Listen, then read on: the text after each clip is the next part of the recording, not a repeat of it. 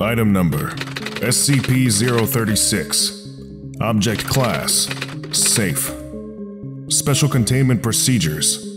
Once every year, a mobile task force is dispatched from Containment Command 02 and data expunged to Site 22A to defend the runway and airport located there.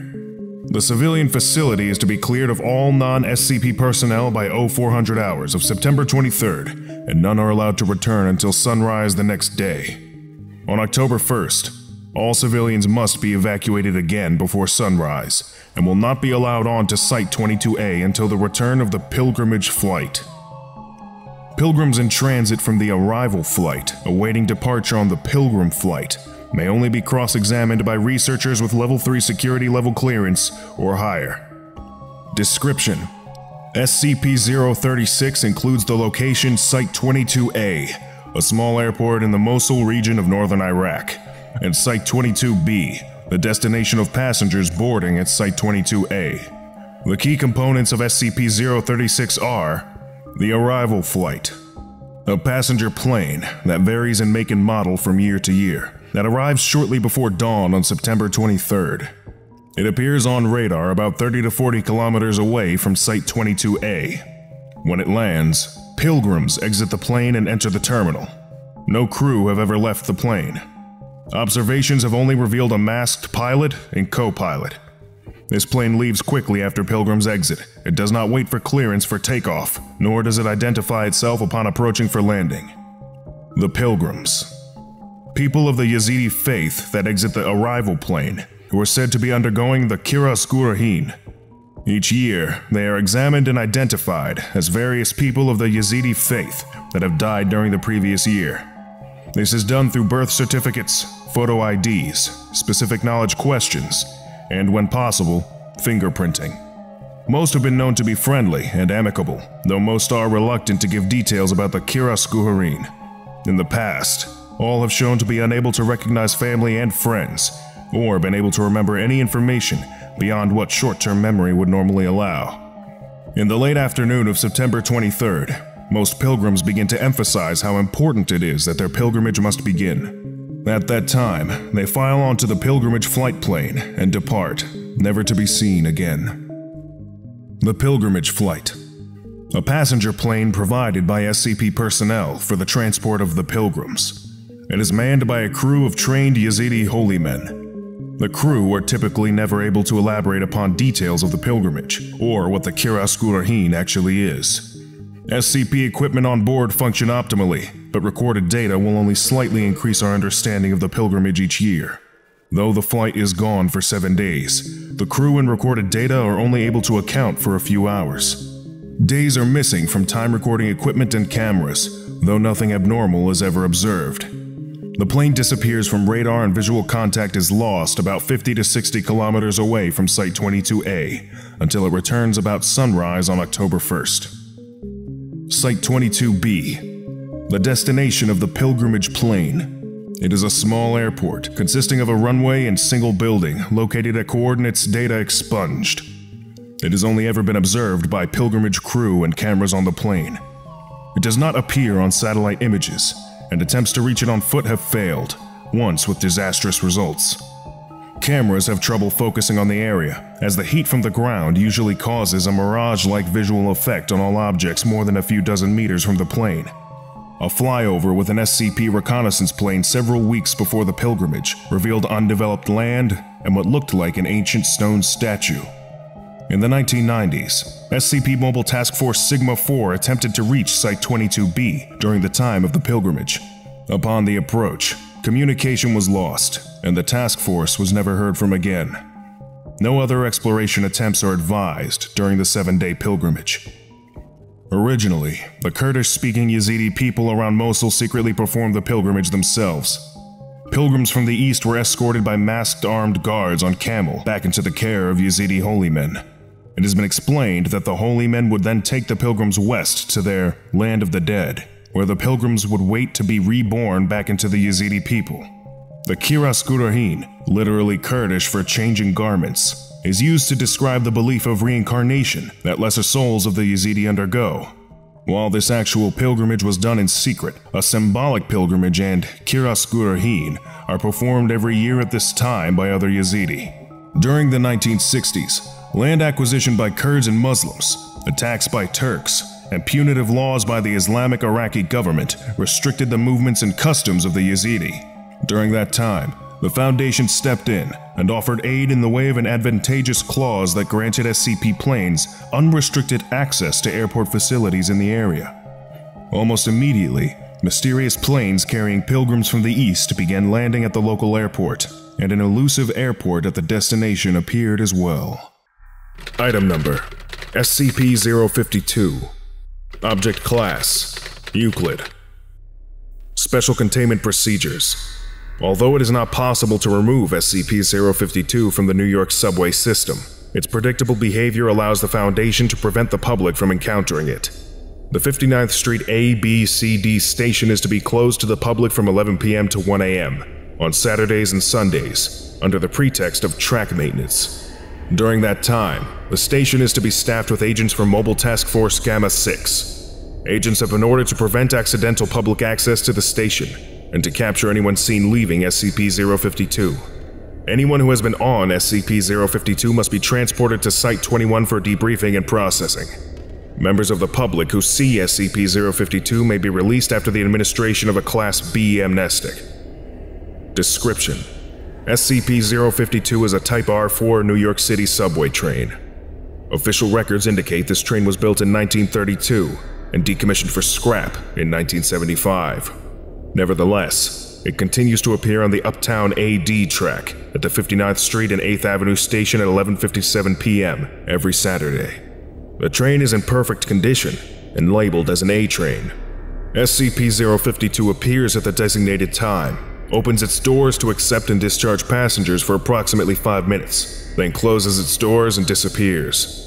It does not appear to ever contain passengers, except for those leaving the train during its appearance. The majority of subjects that have boarded SCP-052 have not been recovered. Passengers leaving SCP-052 claim to have boarded on various dates, from 1976 up to 2204. The latter claims he thought SCP-052 was a 300th anniversary special train. Subjects retain no knowledge of time on board. Addendum Passengers leaving SCP-052 must be brought to Site-21 and interrogated to determine their origin and possible threat to the current time stream.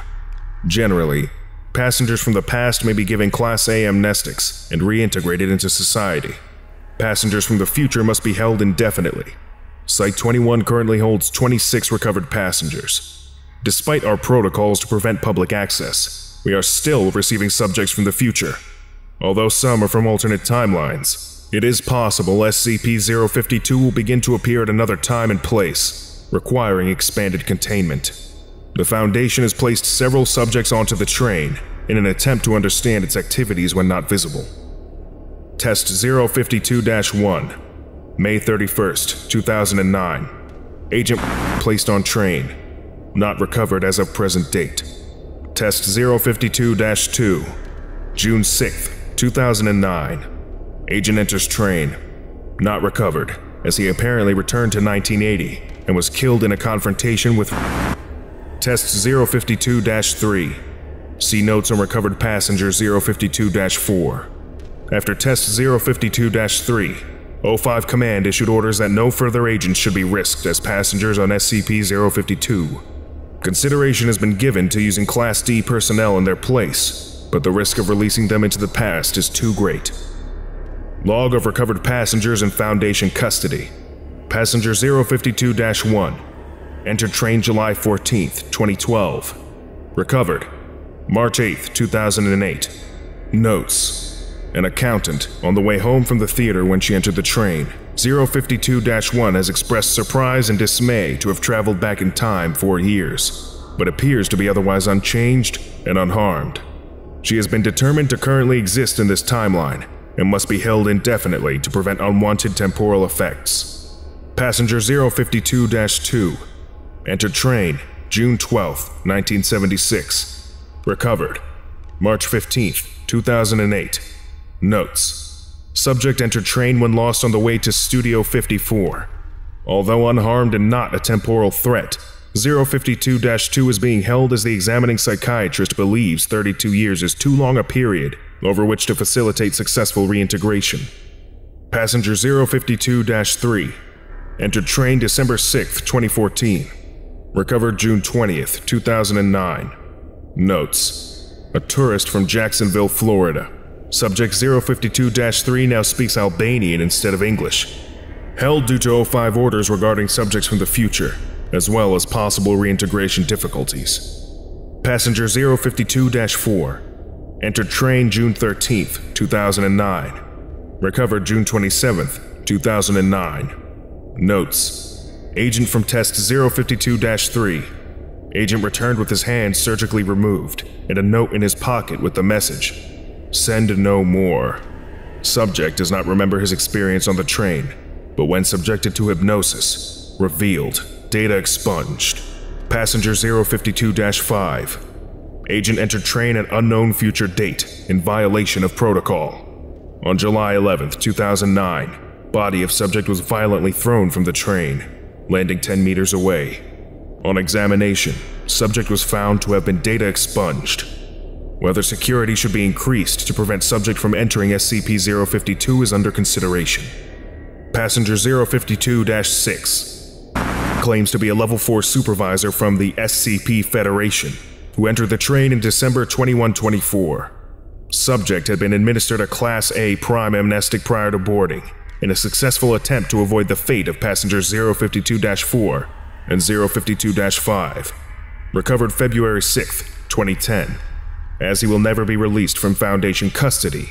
O5 Command has approved sharing otherwise classified information about other artifacts in our possession, in hopes of gaining new methods of containment and becoming aware of future security breaches. Agent has been cooperative and claims that it is good we do not know how to open SCP-699. Subject turned visibly pale and refused to discuss this item further. To be a survivor of the Great Zombie Plague of 2092, caused by an SCP-008 containment breach. That SCP can be killed by data expunged. Permission to try this has been denied by O5. That he worked for Dr. Jack Bright. Item number SCP-119 Object Class Euclid Special Containment Procedures SCP-119 is to remain open and unplugged at all times except during testing. The door to the room in which SCP-119 resides is to be locked for all periods, except during experimentation, with the entry codes given only to authorized research and security personnel. An industrial-grade disinfectant will be available nearby at all times, and the inside of SCP-119 is to be heavily disinfected before any testing. The contents of SCP-119 are to be monitored through the viewing window on SCP-119 at all times during testing and will be stopped immediately should the contents become hostile or otherwise damaging to SCP-119. Description SCP-119 is a Panasonic microwave oven. It was initially discovered by an agent who had bought it from a liquidation sale of the assets from Valley Vineyards. It is believed that Valley Vineyards was using the anomalous properties of SCP-119 to rapidly age its products and create expensive vintages.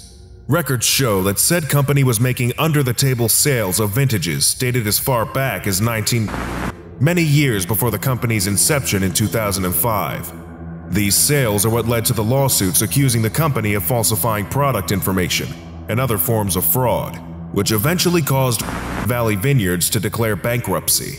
SCP-119 appears to be a standard model of microwave in all respects, except that the magnetron unit does not produce microwave radiation.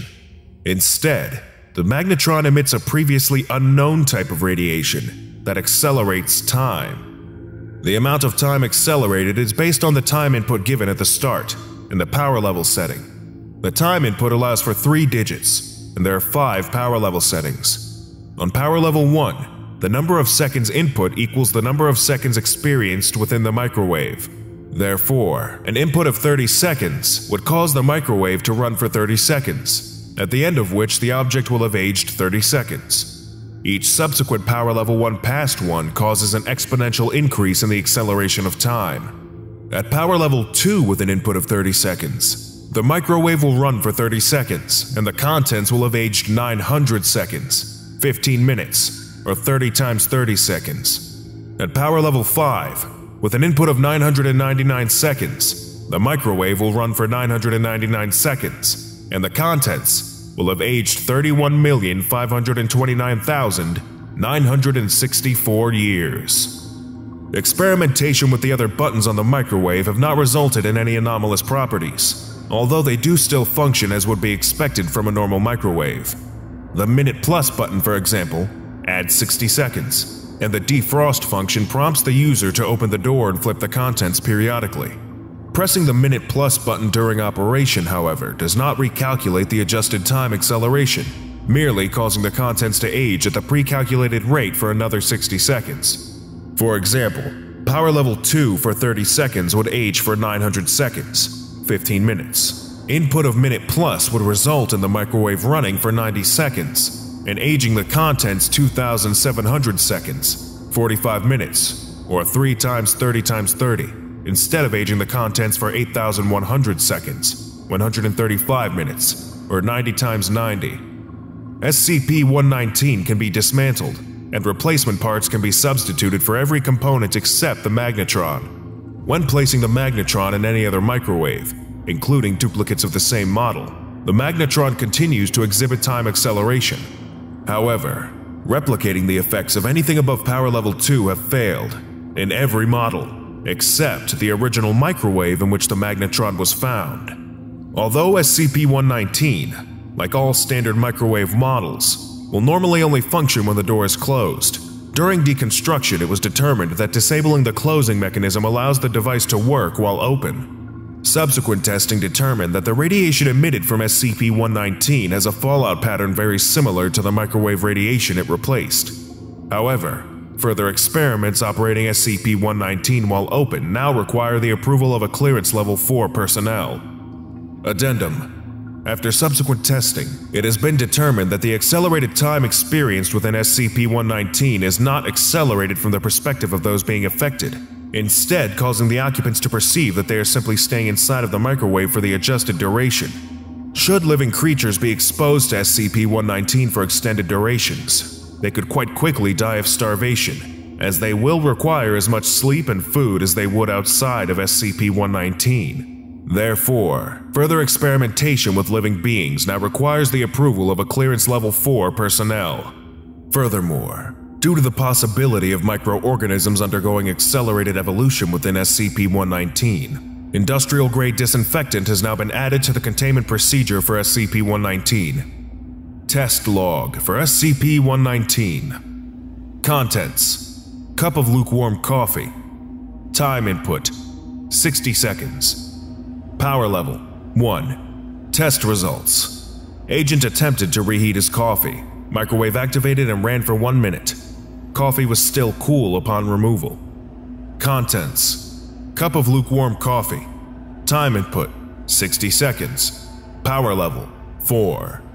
Test results. Agent increased power level, assuming the first setting was too weak. Microwave activated and ran for one minute. Upon opening the door, Agent discovered his coffee had grown a thick layer of mold and scum, consistent with the amount that would be expected from leaving a cup of coffee out for five months. At this point, the agent brought the microwave to the attention of the Foundation. Contents Stopwatch. Time input 30 seconds. Power level 1, 2, 3, 4, and 5.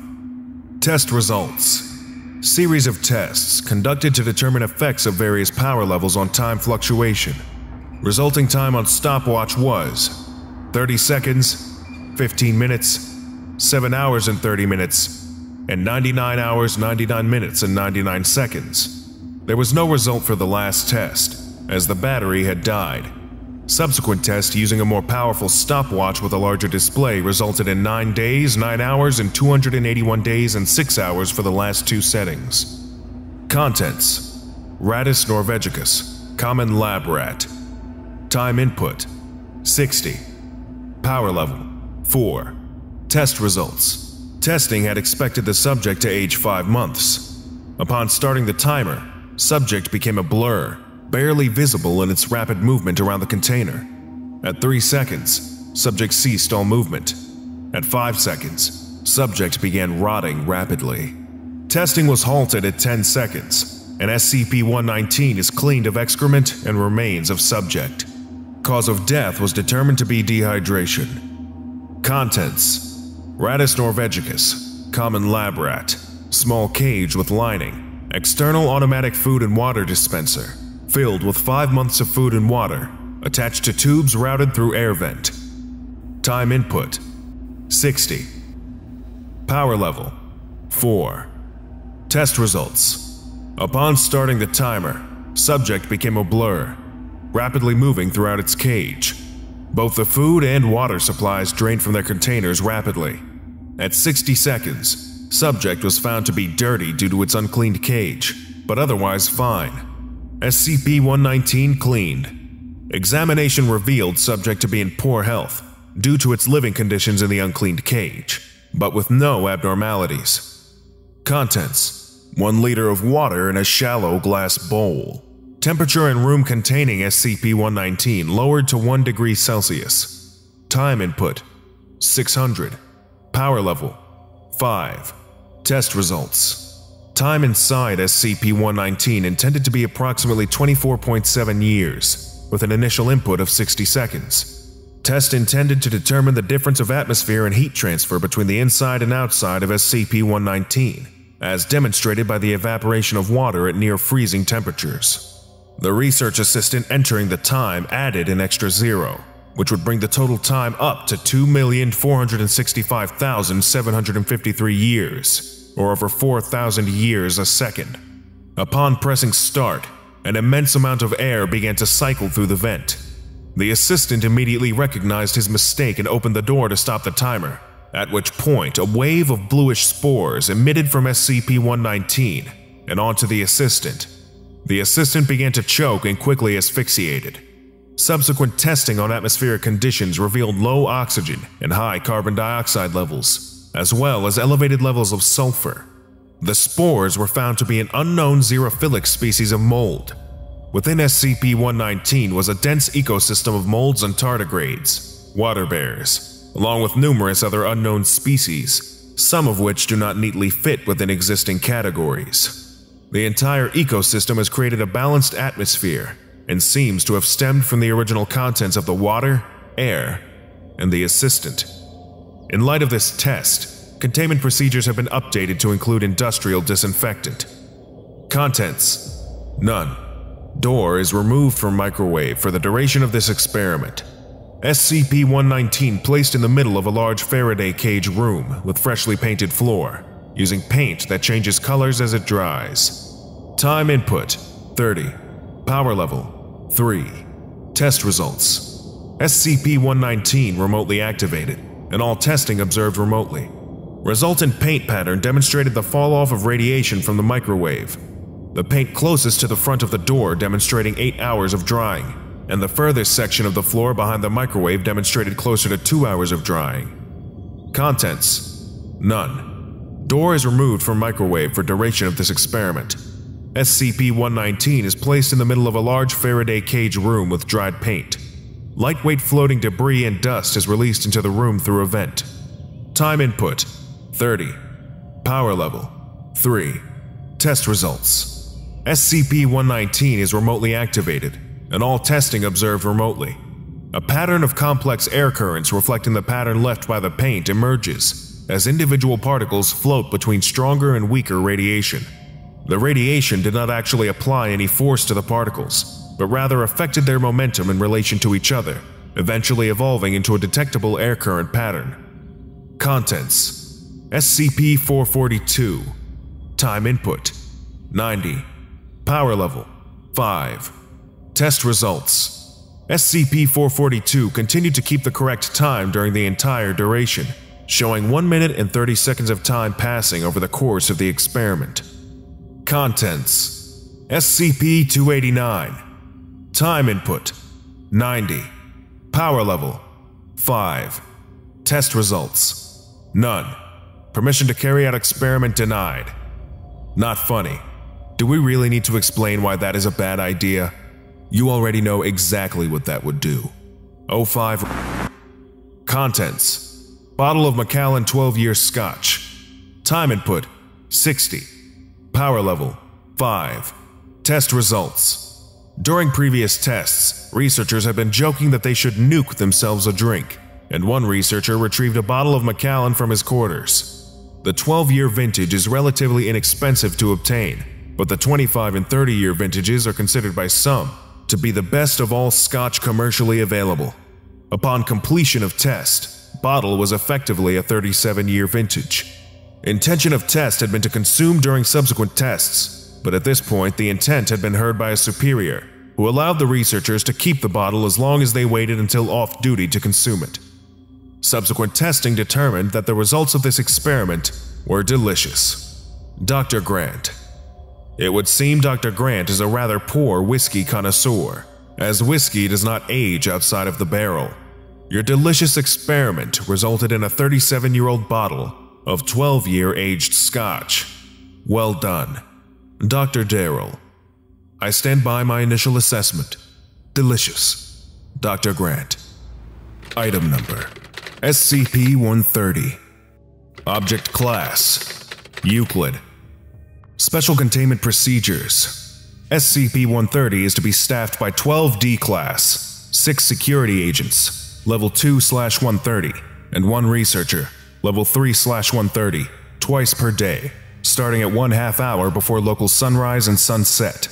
All staff are to be appropriately uniformed. When not staffed, two security agents will remain in the lobby, and two additional agents will patrol within the building.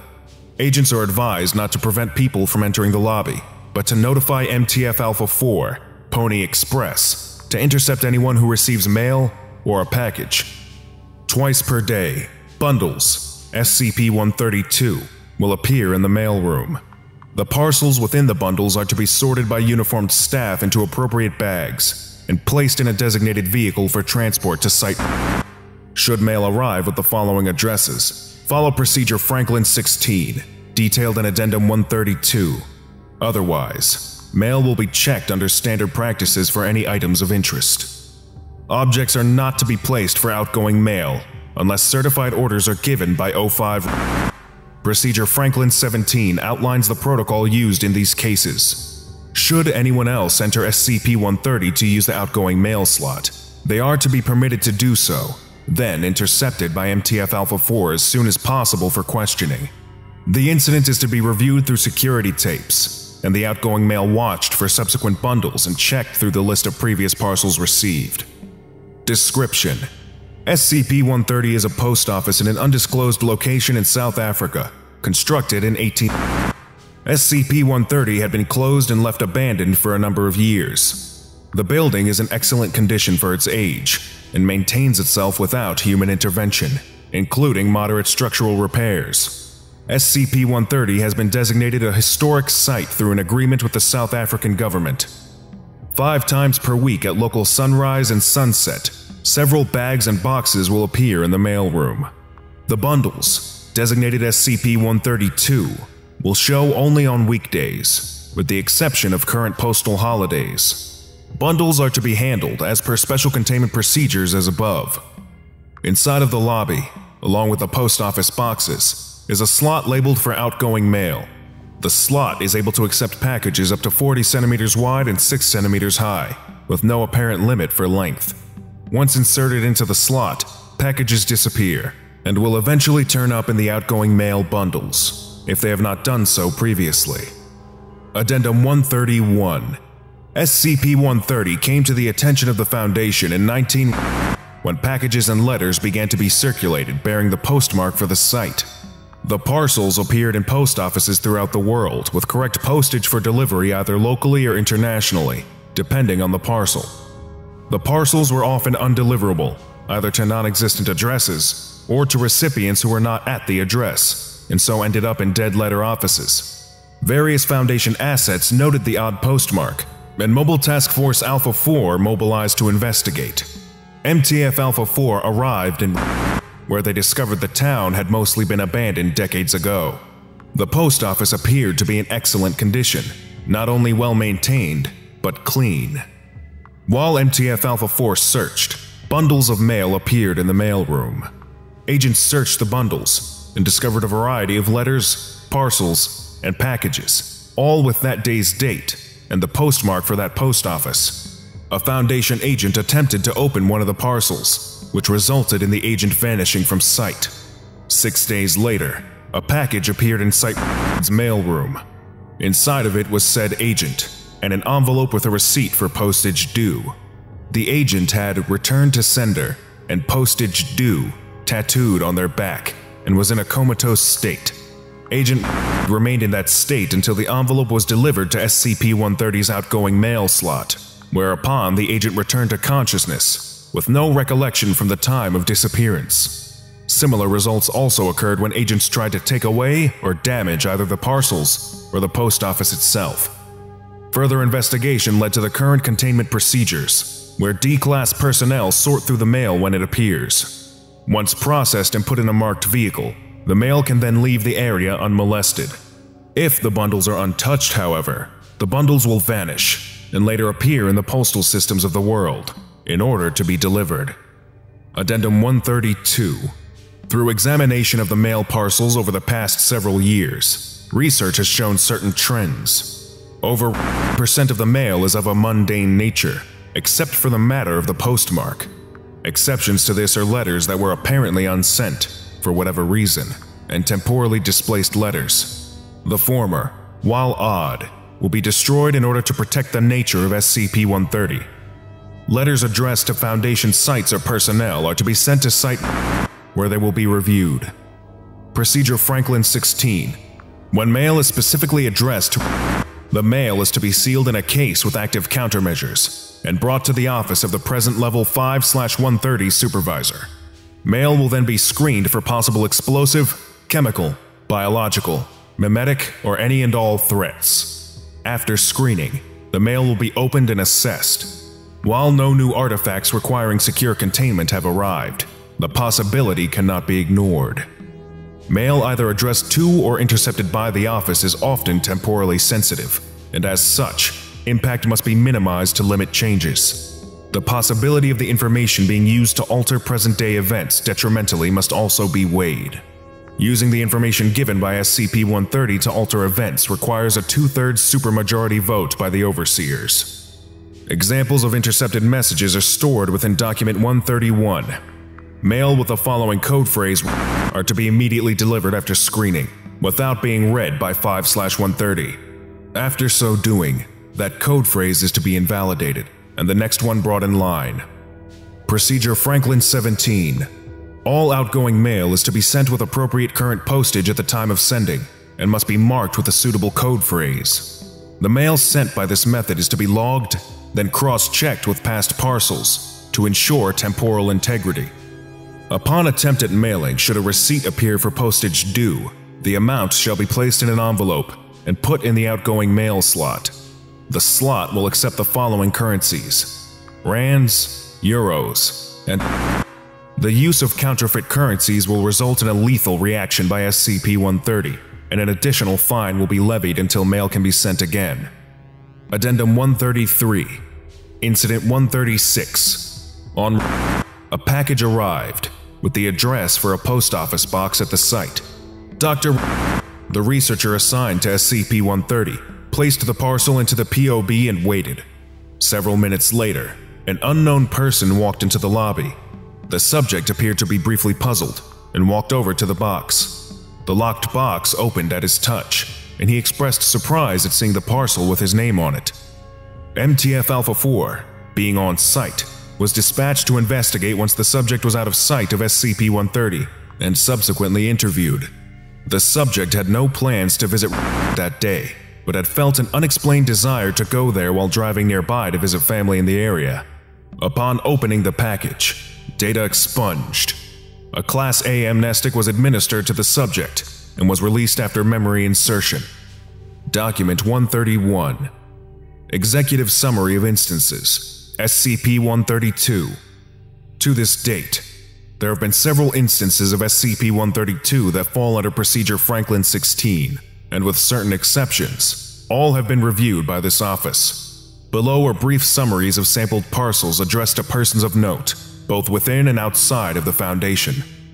Dr. M.E., 5 130. Addressee, Dr. Alto Clef. Summary To this date, Dr. Clef has had several parcels addressed to him in a variety of fashions, up to using valid code phrases per Procedure Franklin 16.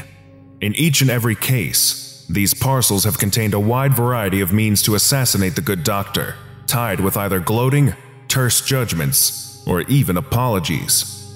Notes After many deaths and dollars worth of damage to Foundation material, all missives addressed to Dr. Clef are to be thoroughly scanned and opened by remote under Hazmat 3 conditions. Due to the incident on only D-Class personnel should handle the mail and be within 50 meters until disposed of.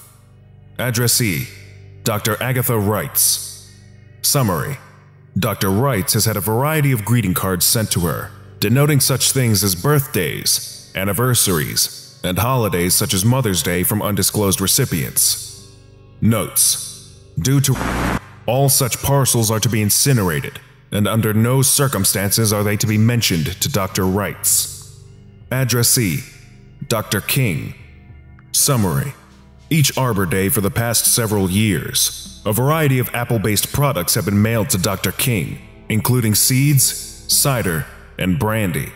Every September 26th, a biography of John Chapman, aka Johnny Appleseed, has appeared. Notes Christ, what did this guy do to SCP 130? I don't even think he's been to South Africa. 5 slash 130. Item number SCP 176. Object Class Euclid. Special Containment Procedures SCP 176 is contained on site under the cover of industrial chemical contamination. Any civilians attempting to enter SCP-176 must be detained. Multiple high-speed cameras are set up within the observation room and linked to continuously running analysis computers. If any deviation is observed in the recorded sequence, all recorded data must be immediately backed up and senior staff notified. Description SCP-176 is an abandoned chemical factory situated near Data Expunged. The building consists of a factory floor and an observation room on the second floor, separated from the main room by one-way mirrors. There are three entrances to the building. A three-bay loading dock, whose doors have been welded shut.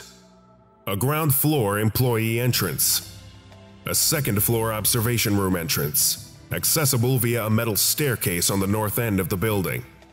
When the main building is entered via the loading dock or employee entrance, no anomalies are observed, merely an empty room in severe disuse and disrepair, with a small amount of metallic debris consistent with a stripped down abandoned factory. The inside staircase leading up to the observation room is missing and inaccessible, and so far, every attempt to enter the observation room via the inside of the factory through the access door or windows has failed. When the observation room is entered via the second floor outside door, a factory observation room consistent in disuse and disrepair to the rest of the building is found. However, when the factory floor is viewed through the observation room windows, the anomalous property of SCP-176 is visible.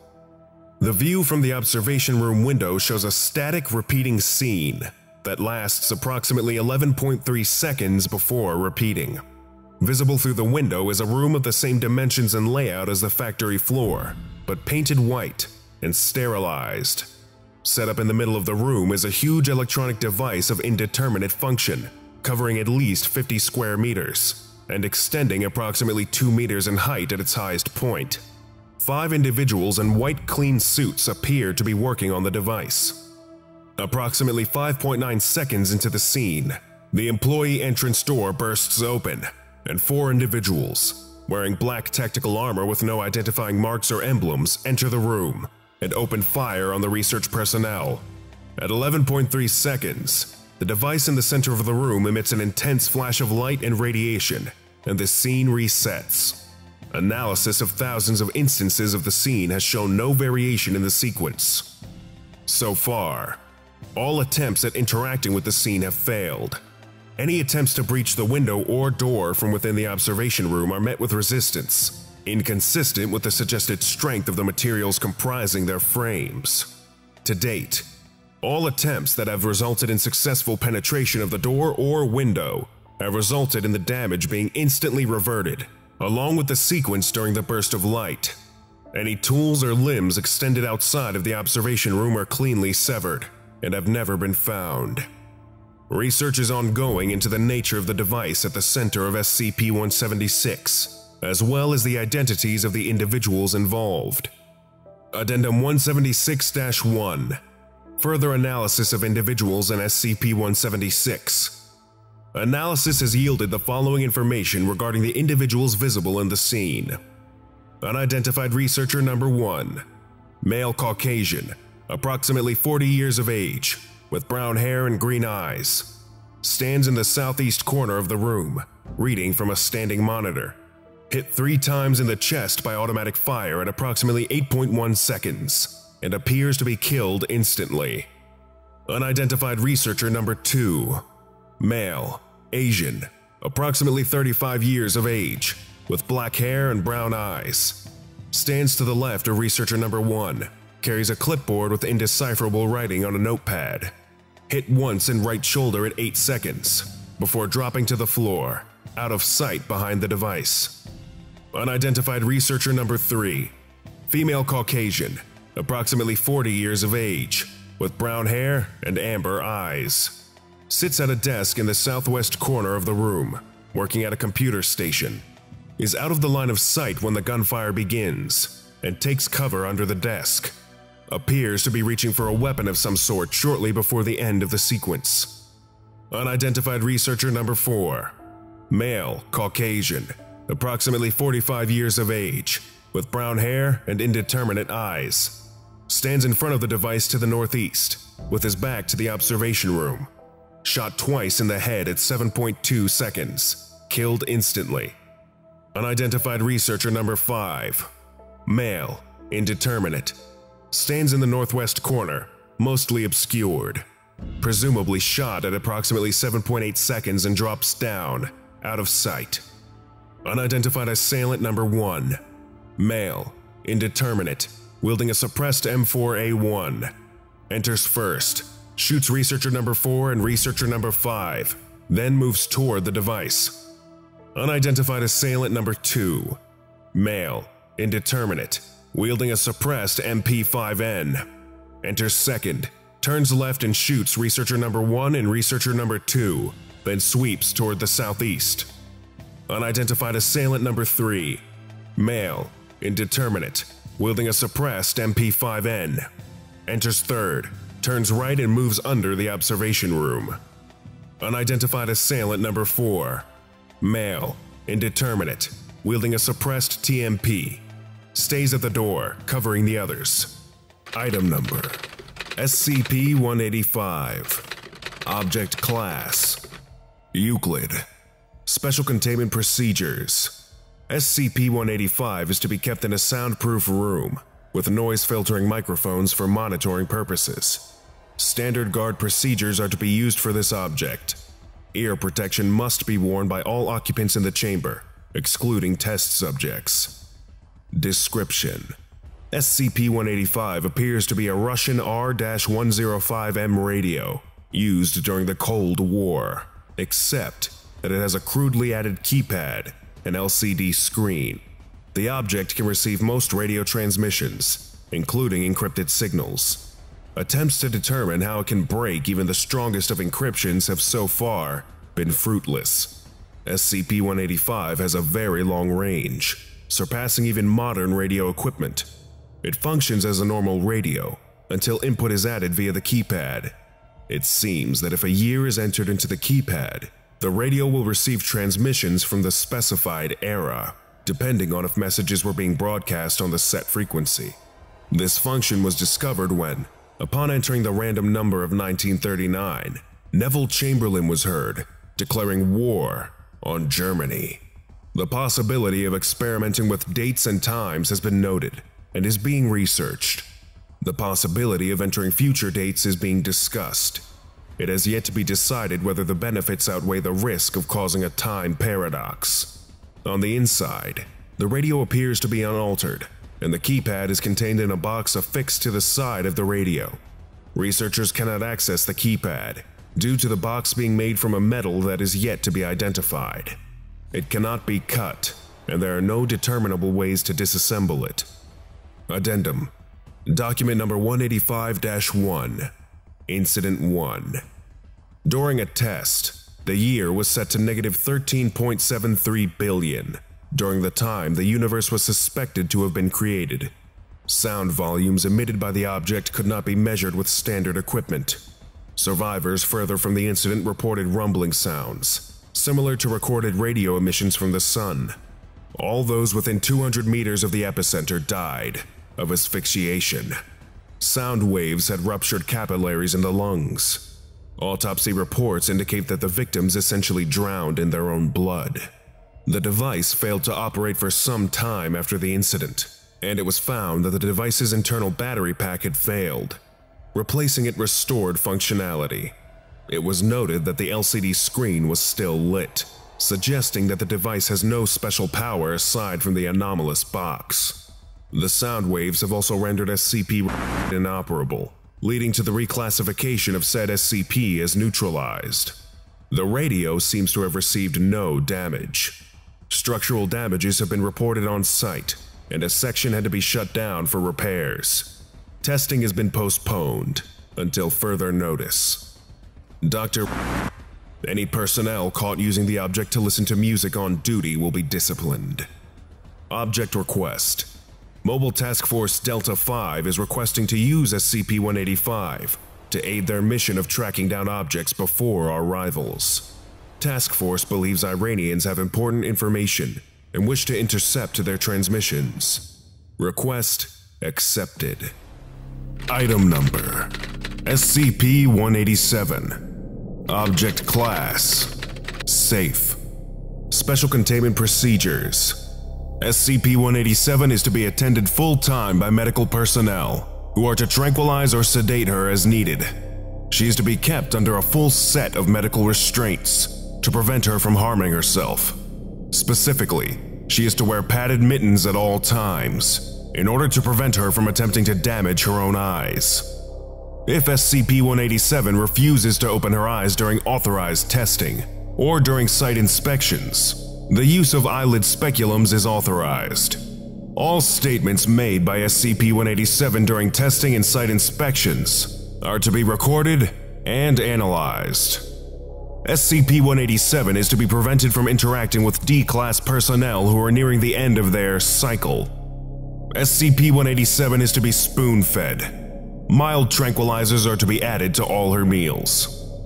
Description SCP-187 is a Caucasian female, early to mid-20s, 180 centimeters tall. SCP-187 exhibits a unique form of precognition, whereby she sees everything in two states simultaneously, as they are and as they will be.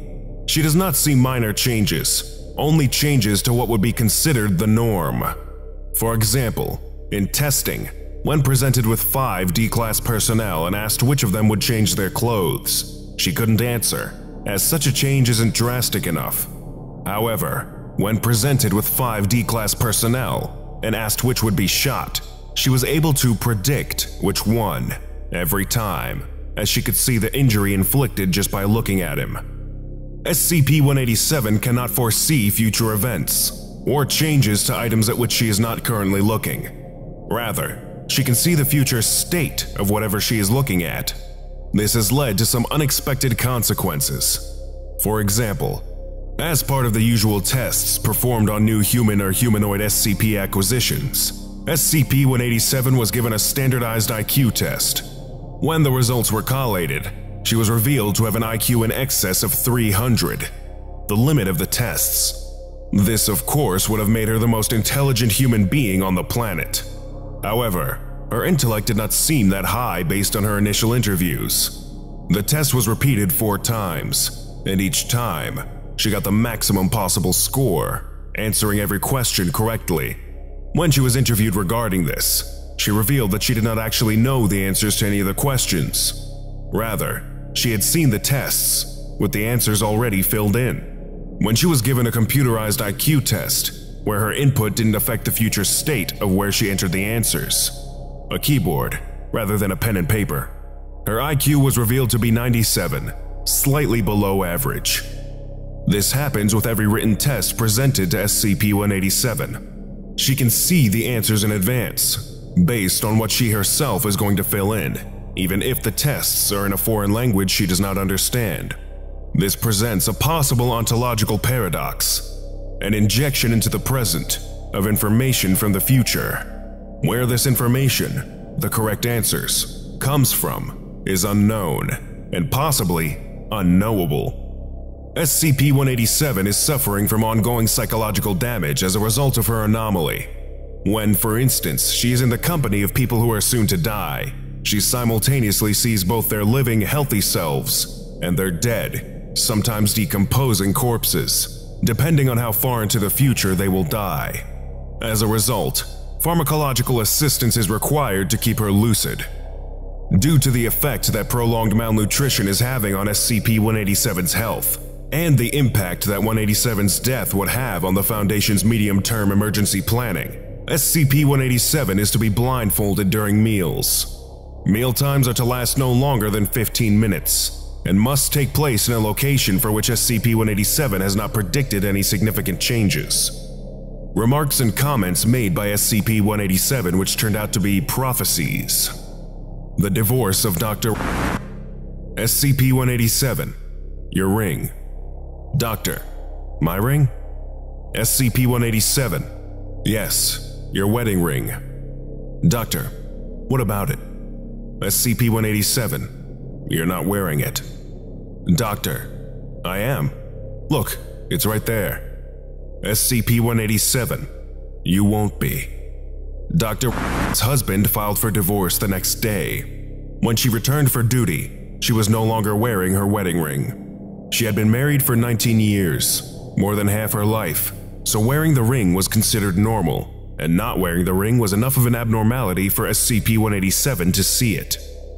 The deaths of the following D-Class personnel D-16124 SCP-187 Why is he so swollen?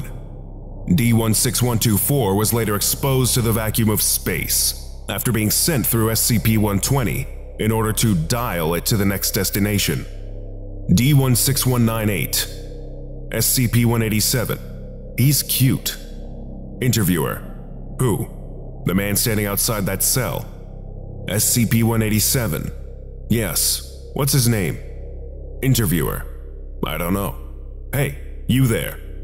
D16198 turned to face them, at which point SCP-187 gasped and burst into tears, screaming, He's going to die. Interviewer. He will? How do you know? SCP 187. He's got a massive hole in the left hand side of his head. D 16198 was later terminated by gunfire while attempting to escape the site. He may have attempted escape due to SCP 187's screaming, implying that she can set so called self fulfilling prophecies in motion. D 16206 SCP-187. His legs, his legs, his legs, his legs, his legs, his legs, where are his legs? D-16206 was killed when SCP escaped from its cell and bit him in half while attempting to flee the site. The attempted escape of SCP while being escorted through site SCP-187 stopped outside SCP cell, staring intently. Dr. Klein, what are you looking at? SCP-187. How did it break through such a heavy door? Dr. Klein. Excuse me? SCP-187. That door is nearly a foot thick. How did it manage to destroy it? 17 hours later, SCP somehow managed to work free of its restraints and did indeed tear through the door to its cell. However, Dr. Klein had alerted security due to SCP-187's statements, so an armed response team was ready and managed to subdue SCP with gunfire. The cost of keeping a full time medical team on hand to ensure SCP 187's well being is obviously high. However, the fact that her anomaly allowed the prevention of an escape attempt by SCP, a Keter class subject, shows that she may be useful for more than just pure research. A proposal has been submitted to introduce her to seemingly indestructible SCPs, in the hopes that she will see them as either dead or destroyed, and be able to describe the manner of death or destruction. This proposal is pending. The potential temporal logistics needed careful consideration. She would, in effect, be seeing methods of destruction or termination, which would only be possible because she saw them. This has caused concern among several higher members of staff. Details of further experimentation may be found in the following experiment log. Experiment log of Dr. Gears, testing exposure of SCP-187 to other SCP items. Date, undisclosed. Experiment 01, exposure to SCP-173. SCP-187 produced a sustained scream for 1 minute, 38 seconds, before losing consciousness and falling to the ground. SCP-187 had to be physically removed and maintained a state of catatonia for 48 hours. SCP-187 regained consciousness, but was unable to remember what she had seen, and remained in mild shock for several days. Experiment 02 Exposure to SCP-139 ARC SCP-187 stated that she saw several bone fragments scattered around, along with data expunged, as yet not identified. SCP-187 became extremely upset, screaming, It can see me! It's out! It can f***ing see me! several times, It had to be physically restrained and removed. Experiment 03 Exposure to SCP-162 SCP-187 felt no pull from SCP-162 and asked why she was viewing a pile of melted slag. SCP-187 removed from containment without incident. Experiment 04 Exposure to SCP-529 SCP-187 appeared very nervous, asking, Is this a joke? several times. SCP-187 reported that she saw a cat and that it looked somewhat lonely. SCP-187 proceeded to pet SCP-529, moving her hand over where the hindquarters would be, as if stroking the tail. Increased observation of SCP-529 requested.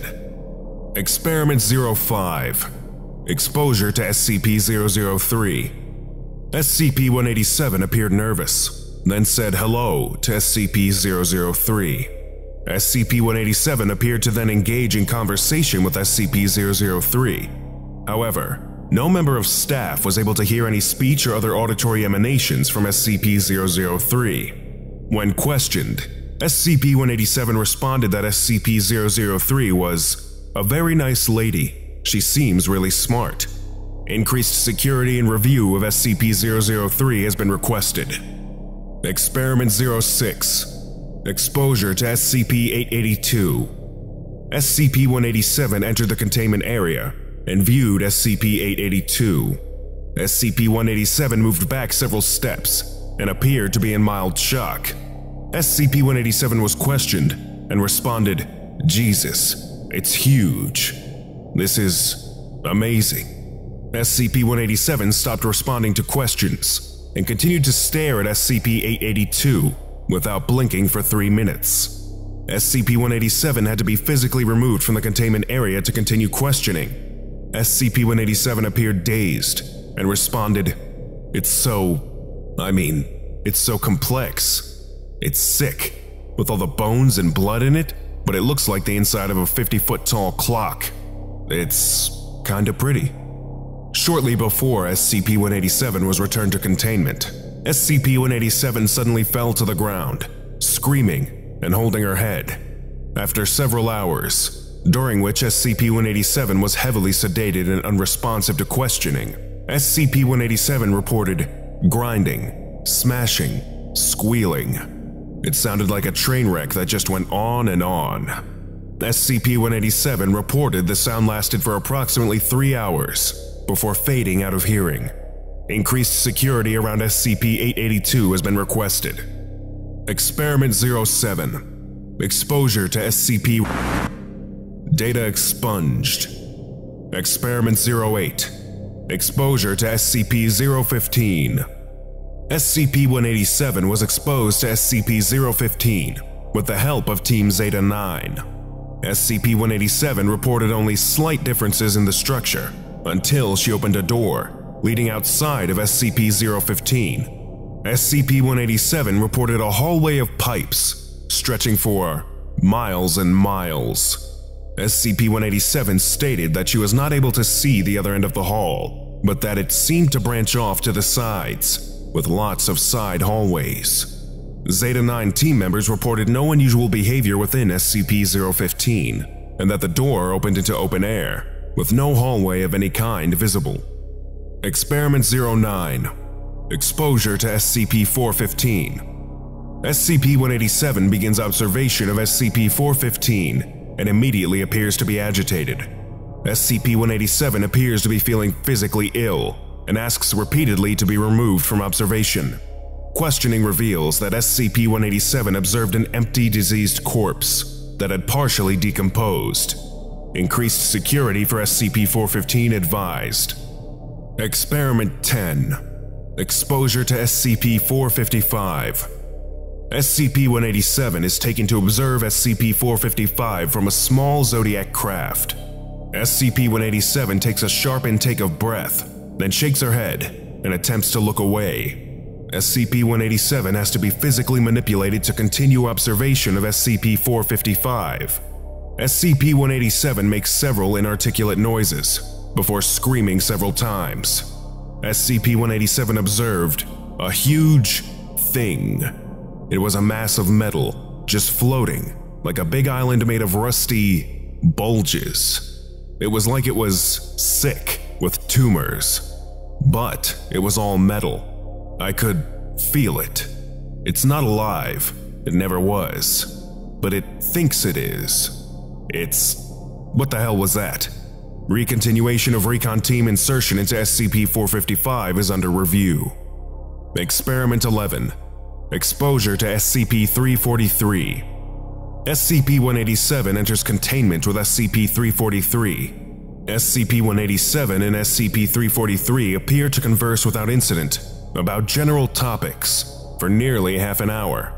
SCP-187 stated that SCP-343 appears really nice, if kinda lonely. For a little girl, she's really well spoken. What is she, six, maybe seven? Increased research efforts into SCP-343 are under review. Experiment 12 Exposure to SCP-646 SCP-187 becomes violently ill upon observation of SCP-646. After recovery, SCP-187 stated that she observed giant maggot things. Hundreds of them. With kinda human bodies and faces. They had these tentacle things all stuck into each other. They were all squirming and. God. There was one near the middle. It wasn't soft. It had some kind of shell. And this kind of jelly head. It was. I think it was mating. Enhanced security for SCP 646 advised. Experiment 13 Exposure to SCP 106. SCP 187 observation test aborted after 30 seconds due to escape incident by SCP-106. SCP-187 appeared to observe staff under attack or undergoing intense physical torture and mutilation two minutes before attack or capture. SCP-106 appeared to specifically target staff under observation by SCP-187. SCP-106 appeared to specifically avoid harming SCP-187 on three separate incidents. Under questioning, SCP-187 said, that that thing wanted an audience, someone to watch. It likes it. SCP-187 refused to elaborate. Further questioning pending. Item number SCP-196 Object Class Euclid slash Keter Special Containment Procedures SCP-196 must be kept wholly ignorant of any information regarding the reason for his containment. The subject is to be kept in a two-room cell inside Site-17. The cell is to be furnished with whatever SCP-196 requests, as long as the request does not show any obvious likely lethal use, and does not violate any SCP procedure. Subject must cohabit with at least one member of the site's Level 2 security personnel, who must be armed exclusively with non-lethal weaponry. Subject is allowed to freely wander the installation if accompanied by at least one member of Site-17 security personnel. Note that all staff below Level 3 have been told he is a safe class object. SCP-196 has agreed to wear a satellite tracking anklet. Subject was told that removal of this anklet would result in his death, but this is not actually the case. SCP-196 displays no extraordinary physical ability, Thus, probability of escape is negligible. Description SCP-196 appears to be a middle-aged male, under 2 meters tall, of African-American descent. He claims to be 47 years old. Subject has black hair and brown eyes. There are no abnormal physical characteristics. Subject displays all basic needs of a normal human being. Subject tested with an IQ of 109 well within normal parameters. Subject's psychological examination indicated that he suffers from institutionalization and Stockholm Syndrome in relation to the Foundation's security staff. SCP-196 demonstrates no Euclid type or other abnormal abilities. Note: I've run the full battery of tests, and the exam says the guy is normal. Dr. Addendum 196-1 SCP-196's origin and subsequent Keter classification. SCP-196 appeared inside of Site Date undisclosed. SCP-196 claims he was recruited through standard Class D recruitment procedures for testing of SCP. Subject also claims that his younger self is currently living in another location in Genetic identification checks confirm that SCP-196 has encountered Foundation security personnel in the past, in an incident at Site-17 in 1960. During that incident, SCP-196 was far older and was killed by SCP security personnel during an attempted break-in at that facility. SCP-196 was, at that time, not known to the Foundation as anything other than a lone human assailant. However, he was found to be carrying SCP and several purely mundane weapons. While a Euclid-class event of this nature would normally result in an individual being terminated, to prevent any potential for a catastrophic paradox, SCP-196's future self is already dead. This means that if he were permitted to die, a catastrophic paradox could occur, damaging or destroying this continuity. SCP-196 must be kept alive until he decides to and successfully manages to escape of his own accord, and somehow travels back to experience his own death while carrying SCP. Note that because of the potential for paradox, SCP-196 must be kept far away from his younger double. Additionally, a covert observation team must be permanently attached to SCP-196's younger self to protect his life. This dedicated security force should otherwise not intervene. Failure to permit the timeline from unfolding naturally could result in damaging or destroying this continuity. For these reasons, SCP-196, despite being otherwise mundane, must be carefully monitored and has been classified as a Euclid-slash-Keter class object. Item Number SCP-084 Object Class Euclid Special Containment Procedures SCP-084 is currently under a full non-interaction order until the full extent of the emission waves has been evaluated. A continuous surveillance watch is to be maintained around the active area of SCP-084, with the primary objective of civilian misdirection and external surveillance. With no major roads, trails, or other travel routes nearby, any civilians encountered approaching SCP-084 are to be deemed suspect and detained for evaluation. Under no circumstances are any Foundation or civilian personnel allowed into the active area of SCP-084, except with express vocal and written permission of no fewer than two members of O5 Command. Sentries are to maintain their posted position with line-of-sight contact checks on fellow sentries, in conjunction with compass and landmark checking. All reference points should be well outside the active area of SCP 084. Should any sentry fail to report in via vocal roll call, full recall orders will be issued to all sentries, and containment will be re-evaluated by special response teams. In the event of active area fluctuation, full recall orders are to be assumed by all active sentries, followed by appropriate action. No form of radio, GPS, television, cell phone, video camera, still picture camera, or any other recording or electronic media devices are permitted within 100 meters of the active area around SCP-084. Civilians found with such devices within this area are to have said devices confiscated and destroyed immediately. Any recordings collected, data expunged. Description SCP-084 appears to be a large radio tower positioned in the center of a large open field with two small outbuildings. Direct observation and sample collection from SCP-084 is impossible, due to the effect that is emitted around and from SCP-084. SCP-084 appears to emit a form of wave, or radiation, that has a detrimental effect on local space-time reality.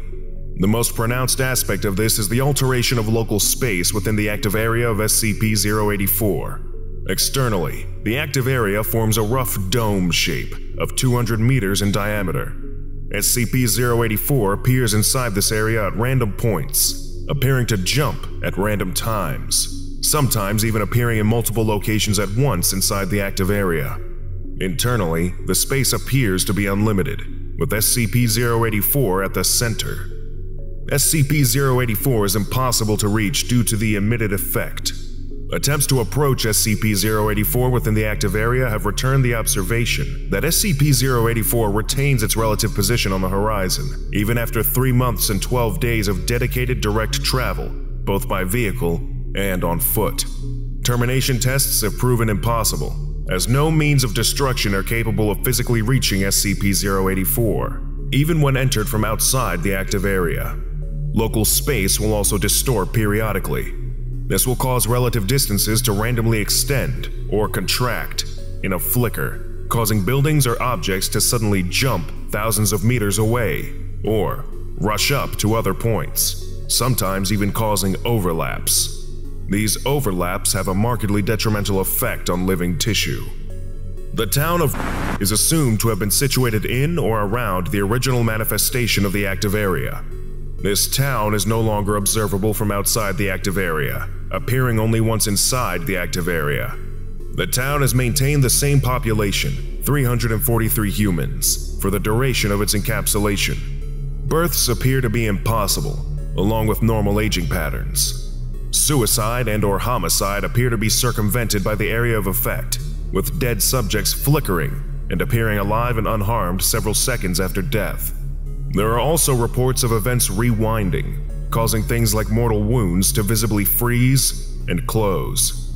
Subjects appear to exhibit many events of inconsistent space-time, as do most structures. Electronic devices and recording equipment do not function correctly in or around the active area. Subjects report bizarre or unsettling transmissions from video and audio recordings and playback devices. This acts to totally isolate from the outside world precluding any need for Foundation enacted containment. It also appears impossible to leave the active area after a random period of time. One subject, found on the grass plain, reported he had been traveling for six years. He was found approximately 400 meters from city limits. Log 084 A4 Record of observed anomalous events relating to SCP 084. Detailed observation made of the grass plain making up the majority of the active area. The plain appears to be made of one 10 meter by 10 meter section of grass, repeated endlessly to make up the plain. Sections appear to be randomly rotated as they are formed, causing sections of grass and small ground variations to line up incorrectly. Few non-human organisms appear to exist within the active area. Those outside the active area avoid it and appear to vanish shortly after entering. Animals observed inside the active area appear normal, but behave strangely. Shuddering movements, sudden shivering, repetitive loops, and other abnormal actions appear to indicate these may not be actual animals. Most animals appear to flicker and vanish after 3 to 4 hours. Vocal communication is difficult within the active area. Vocal communication appears normal within 5 meters of the speaking subject, with reports of a slightly muffled quality reported commonly. Outside of 5 meters, subjects appear to be speaking from a great distance, with a great deal of echoing. Reports of speech being heard several seconds after the subject has stopped talking, and speech occurring with no subject speaking, are also not uncommon. Detailed observation of the radio tower is impossible due to the inability to physically reach it, and the effect of the broadcast on most observational equipment. Basic telescope or binocular systems show the tower to be hazy and static fogged, while more advanced equipment is subject to the anomalous broadcast effect. Weather patterns, as well as basic day night cycles, appear to be totally random. Overhead sky will randomly cycle between day, night, clear, and other weather patterns. Relative sun and cloud position appear random as well, with frequent flickering and blurring between different states. Physical alteration or damage to anything within the active area is impossible. Actions such as digging, demolition, and new constructions will suddenly blur and be reset to their previous unaltered state at random points. Subjects inside a reset structure, such as inside a hole, will become instantly trapped and fused. Humans in the active area around SCP-084 exhibit some of the more striking and easily observed reality distortion effects. These include sudden blurring of limbs or head, appearing to suddenly gyrate at violently high speed for several seconds before ending. Subjects experience no pain and are often unaware of this phenomenon. Looping, typically manifested as the repeating of 8 to 20 seconds of time. Subjects will go through an action, example, exiting a doorway, picking up an article of clothing, then suddenly freeze and flicker, then return to the original starting position of the loop and repeat the action, even if this involves a sudden teleportation of significant distance. Rarely, subjects appear to become caught in a permanent loop. Observation and interrogation of subjects show that basic human needs, such as food, water, and sleep, are no longer required after prolonged exposure to the active area.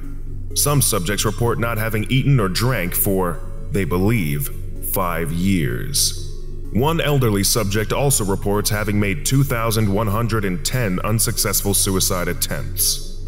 Subject will sometimes be able to pass through solid matter without incident. These periods appear to last for random periods of time, and begin and end without warning. Subjects inside solid matter when the period ends will become trapped or fused until the period resumes. One subject reports being trapped below the waist in a wall for two years. Extreme psychological distress is observed after long term exposure. The transmission's data expunged barrier, which is compromised over long term exposure. Subjects in advanced reception states typically reset after several months. Recorded transmissions show a slight data expunged cycles overall. Attempting to catalog and record these broadcasts has therefore been remanded to autonomous systems to preclude any additional loss of Foundation personnel. Item number SCP 112. Object Class Euclid. Special Containment Procedures SCP 112 is contained within an abandoned amusement park, designated Site. Said site is to be staffed with a standard complement of 12 armed guards in designated Amusatastic Land garb to prevent civilian interference. SCP-112's power supply is housed within a standard Foundation prefab building with two high security door locks and a standard staff of six security staff and one operator. Since all other rides in site are intentionally disabled, civilian intervention is low. As the anomalous properties of SCP-112 occur regardless of its condition, only mandatory maintenance work is to be done on SCP-112. This also ensures that local civilians treat SCP-112 and its surroundings as abandoned and ignored.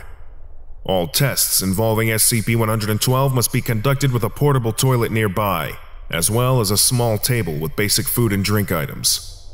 Description SCP-112 is a steel sit-down roller coaster, formerly known as the Blue Steel Surfer. Built in 19... SCP-112 was marketed as the crown jewel of the amusement park. Initial testing of the ride resulted in extremely negative experiences from testing staff. When these reports became public knowledge, the financial repercussions of the failure of the Steel Surfer resulted in the parent company of the amusement park going bankrupt. The property was abandoned and undisturbed until a local gang broke into the park and reactivated the improperly disabled rides, SCP 112 included. When police attempted to arrest the members who were exiting SCP 112 after its inaugural ride, the riders began to attracting local media attention. Suspecting the ride had traits within its mandate, the Foundation purchased the park under the auspices of rebuilding the park as Amusatastic Land in order to test any potential anomalous properties from the ride. When SCP-112 is started, the ride functions as expected until Point Alpha, its primary drop.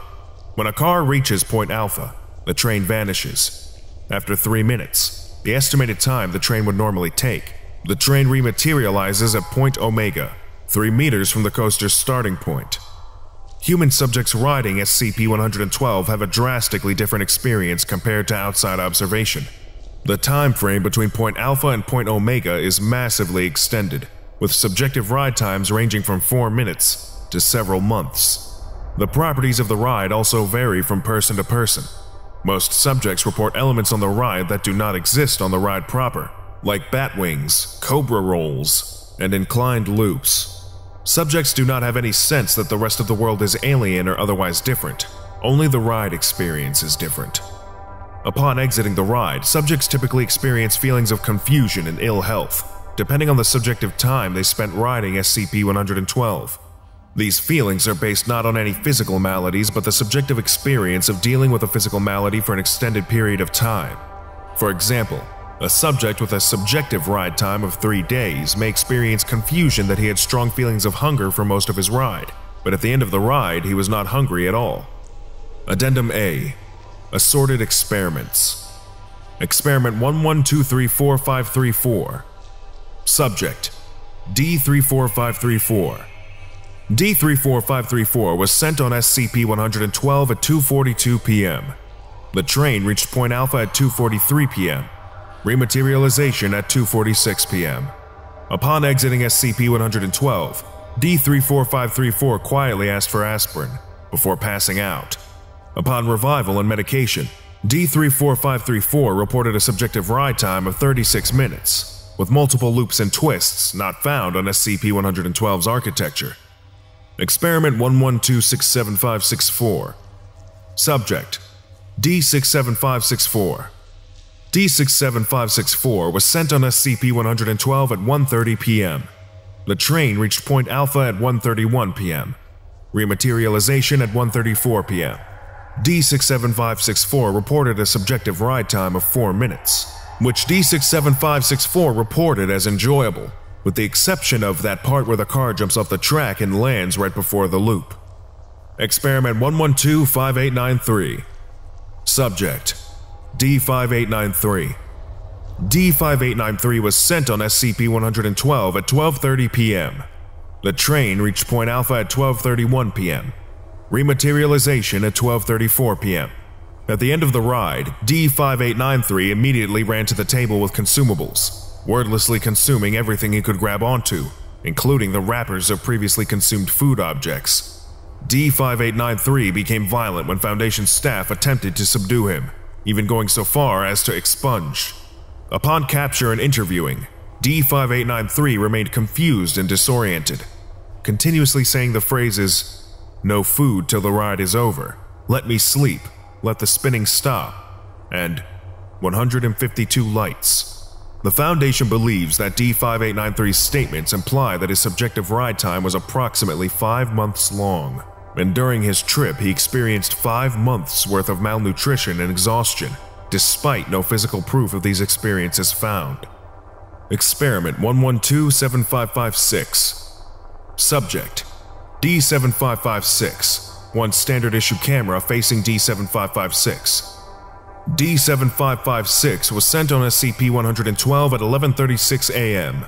The train reached Point Alpha at 11.37 a.m. Rematerialization at 11:40 a.m.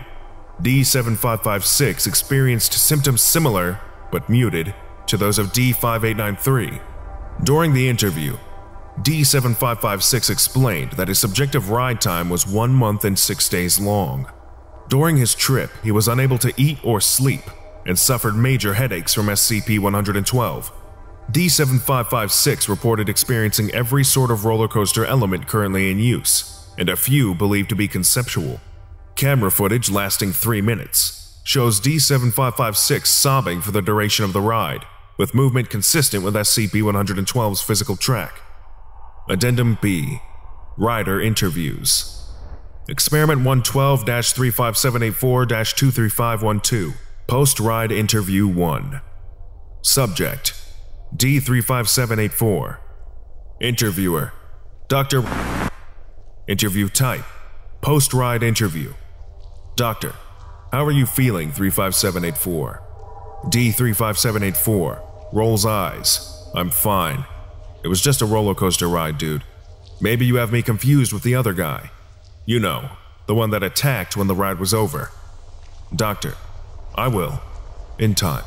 Describe your experience on SCP 112, please. D35784 laughs. What's there to say? Before I was sent to jail, I designed coasters. A couple minutes too long of a ride, you always gotta worry about that. But the twists that thing has are damn good. A few of them I'm pretty sure I mocked up back in the day. It would have been a lot better if the next to me wasn't acting like a damn fool. Doctor, D23512, what was he doing? D35784, sighs. It's what he wasn't doing that pissed me off. He was slouched over so much that his restraints were taut, just facing forward.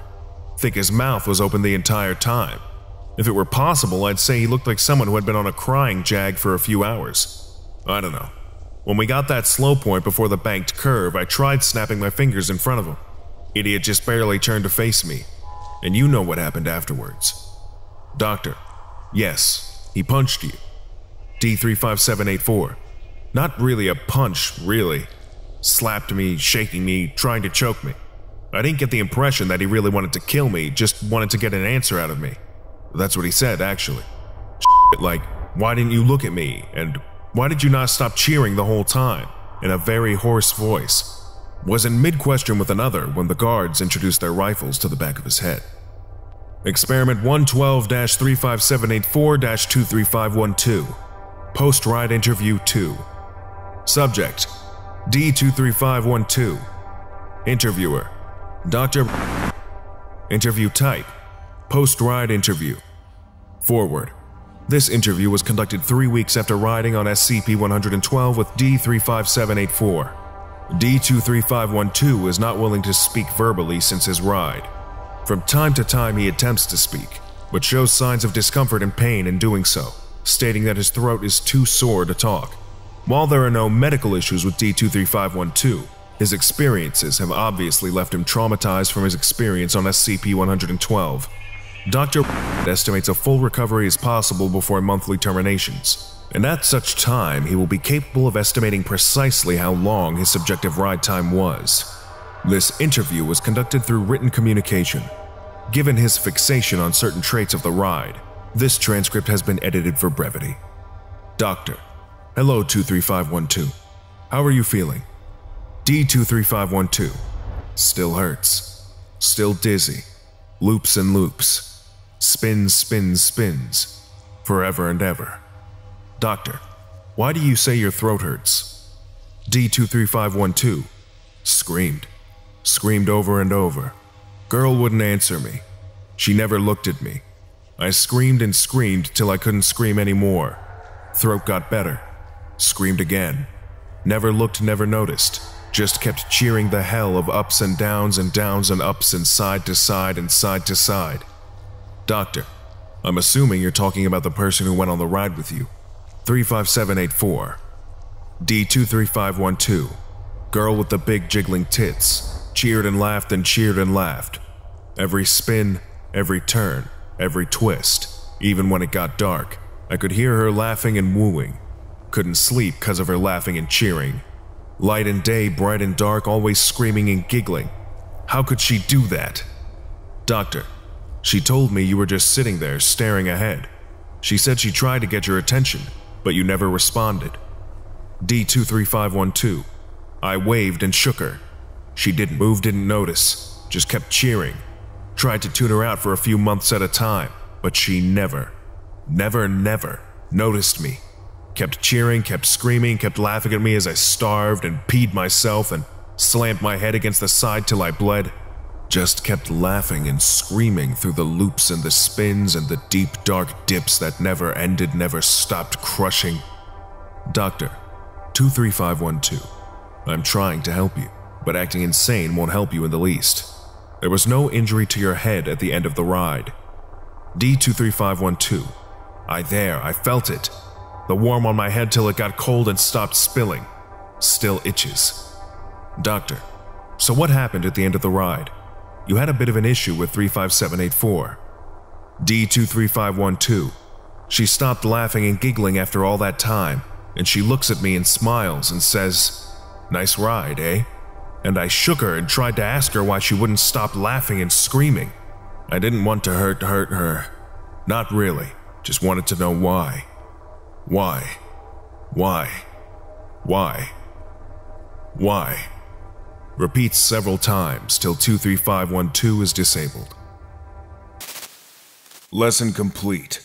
To continue with your orientation training, subscribe to SCP Orientation right now and make sure you don't miss any of our upcoming videos.